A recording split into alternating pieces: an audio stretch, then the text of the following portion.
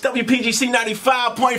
DMV Fix Your Face, cut your radios up. It's your man Tony Redz, aka Mr. 24-7. I got a legend in the building. Her name is Remy Ma. Okay, a legend. That's what's up. I like this talk. I like that, that's the type of cloth talk that I like to hear. Let's go. Cause you legendary. So I'm just gonna, I'm, Thank gonna, you. I'm just gonna jump straight to the game. So Okay. now that, I mean, last time I seen you was at the BET Awards. So Yes. you know, I done burned your ear up then.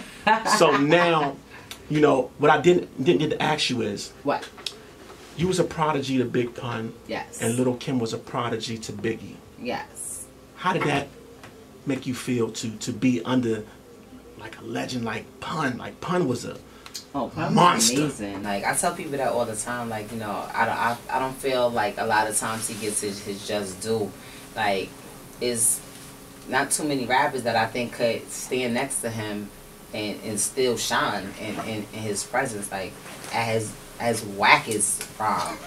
but um, you know, to be able to do a project with it was so weird that, that you say it like that because we didn't even realize it until we started shooting the video and like you know i was doing my thing and, kim was doing her thing and we had pause in between um scenes. And this guy he was like yo i just got chills on my arms. He's like yo it was just like watching big and pun over there. I was like whoa. Like Right, that right, that's deep. right. like i didn't even look at it on that level. But um it's it's a it's a wonderful thing when you have somebody that that you look up to and that you think is great and that other people consider great and iconic and legendary and they co-sign you like one is the reason I'm able to sit here and talk to you Right. like and I can't nobody ever take that from me like he gave me my shot he believed in me okay. Now, a lot of local artists mm-hmm. in the city yes they come to me and they they they throwing their CDs, they sending me their music. Remy, can I tell you that's not coded? Can I tell you that it's not copywritten? Can I tell you that you know they don't, some of them don't even own their own names? Can you tell? Can you please tell the youth of the district of Maryland, of VA, how important it is to handle your business before you handle your music? Um, well, it well it depends. It depends because some people they just do music because they love music. They just do it because you know this is something that's in their heart and they feel it and they just love doing music. If that's what you're doing for, because you just want people to hear your music and you mm-hmm. don't really care about anything else, cool. Just keep passion out your music, uncoded, uncopywritten, and all of that other Somebody stuff. come along, snatch it, Oh, put it up, but- and but- if- tons of money. Okay, but if it's if you're not doing it for the money, then that's not gonna bother you. You don't care. That's not this is not for your livelihood. This is just something you're gonna do. If you're in this because you eventually want to make money one day, you want to be able to take care of your family, you want to be able to, you know, possibly even be wealthy. Absolutely know the business. Not just not those are the those are the basics. The getting your name, um, you know, um, registered and owning the trademark and getting your copyrights to all your music and just whatever, all of that stuff. That's the basics that you just need, period, for yourself.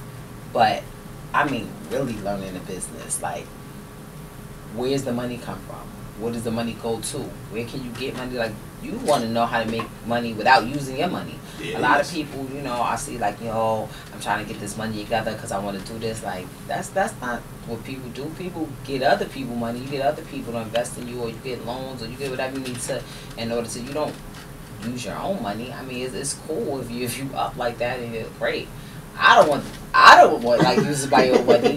When I was independent, it was it was so cool because I spent a lot of the time that I was away learning the business. But it took me years to know like, okay, this is not just about being the best rapper and having people say I'm dumb nice and she could rap and her song is dope. Like, nah, this is really a business and I myself, I am a brand. I am the walking brand. And I started I, I was making eleven cents an hour and I was getting the Billboard Billboard magazine, which is like do you know that magazine is like three hundred dollars a year for a subscription? It's ridiculous. People don't even read magazines like that. I don't even understand it. But it, I was learning who was making money on on their tours, who was the top selling tours, who was um what songs was moving in what um regions, just all different types of things that you that I just didn't care about, and the average artist just doesn't look into. What labels is doing what? Who's the execs? Who's in this position? What does this position do? All of that stuff it, it matters. You wouldn't you wouldn't go and say, "Hey, I'm gonna be. I want to be the owner or you know the person that's um, running a McDonald's and you don't know you don't know what they sell you don't know nothing about a Big Mac you don't know nothing about no fries you don't know nothing about a fryer like these are the things you you have to know if you wanted to open a store you want to open anything a liquor store you got to know what brands is there how do you get your um the the vendors how do you get the person like people get into this business they're gonna do I'm just gonna rap and I'm gonna put music out nah it's steps that you have to take even like that's what anything that you want to do. Find out what you really getting into. You might I know people who go to school for years, four years, six years, get degrees in something that they don't even care about, or in a, in a job that's not even gonna make them any money. They they owe more money in loans and student loans than they'll ever make in the profession that they're trying to be in. So you know you gotta really do your research on in anything, not just music. Bad, bad. Now you got the song out, "Wake Up." Wake with me up. another legend. Yes. How did that come about? Well, Queen B. Well, that that was it was that was an easy one. I can tell you that one easy. Um, I, I got the the beat from uh, Cool and Dre and Smitty Beats in Miami, and I was right into it, and I just kept hearing Lil Kim on it. Like this, it's a sample from Mary J. Blige's "I Could Love You," who's uh, where you know Mary is an icon. Mary is Mary, and um, Kim was on that record. So I'm like, all right, maybe that's why I'm hearing all this. then I'm like, no, because the sample was also used on Lil Kim's hardcore album, also right. on Queen Bee. I'm like, you know what? I just I need Kim on this record. Like that's it. Like I, I, I hear it in my head. I hear her on my ad libs. I hear everything how I want her cadence to be. Like I need to I need to get on track. And I called her and I told her, and she was like, of course I got you. It's nothing. Come through. She was in the studio. We linked up and we made it happen. Called her a week later, like, hey, you want to shoot the video? She's like, yeah. I right, let me know what you need. Hair, makeup, you know, just whatever. And I and I got you and me and we did it. But see that like when you say stuff like that, when I when I hear you say when I hear you say you just called her and she was with it, yeah.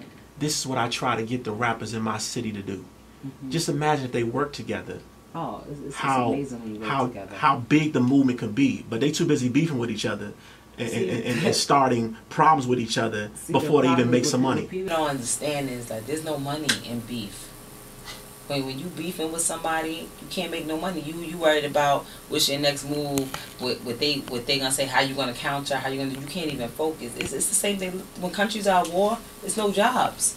It's no nothing. All the money is going towards making um, weapons and sending out troops and taking it like there's no job everything is messed up so when you at war you you beefing and you going back and forth you you taking all your energy that could be going into your music and into being prosperous and putting it into something negative so I'm never gonna co-sign that. Like that's why I'm in and out. All right, this is what we gonna do. All right, this is it. and I'm out of here. We not gonna drag this on. This is what we not gonna keep doing. Right, because you just not, you slapped Nicki and when she was on to the next. Yeah, pretty much. I think a lot of times people take everything. People are real sensitive. Mm-hmm. I, I I don't really know how to um. It's just business. I don't know how to filter myself. You know what I'm saying? Like I I feel like filters are things for things like fish tanks and cigarettes and air conditioners. And I don't I don't have a filter, so. I, I feel like if I'm talking to somebody that's adult, I, can, I can pretty much tell you exactly how I feel. I don't shouldn't have, shouldn't have to sugarcoat it or, or go around it. A lot of times people be in their feelings. You say something, oh, she said this and this. I'm like, I I said. What? Problem, man. Relax, calm down. So when is this album set to drop? Um, the album is next year, 2018. I don't have an exact date yet, but um, I do have all my singles lined up. I'm shooting videos literally like every week, every two weeks, because I don't really know the order that I want them to go in. I I go as as I think about like the Kim record, Wake Me Up record wasn't supposed to be like the first record that you guys heard. Right. It's another record that was supposed to be first, but the the climate of music changes. So I was like, all right, we'll, we'll the way I'm feeling right now, the way the atmosphere right now, this seems like the record that I should go with. So I know what record that I'm in my mind is gonna be the next record shot the video for it. The song is clear, it's ready to go. But is that necessarily That could it change tomorrow? Yeah, absolutely. So I just want to have everything ready in case I change my mind. Like, all right, change my mind. I want to go with this one, and the video's already done. Here, let's go. I don't have to chase nobody down. I don't have to find nobody on tour. I don't want to have to come off of my own tour. I want everything. Why? So it's still moving. It's moving. Moving fast, and I'm running around every day. But while I have a little bit of time here and there, I'm I'm trying to get everything done ahead of time. There it is, DMV Remy Ma in the building. I'm about to get her to spit some bars, man. So y'all better fix your face and stay tuned right here on WPGC 95.5. Remy. Yes. Thank you. Thank you.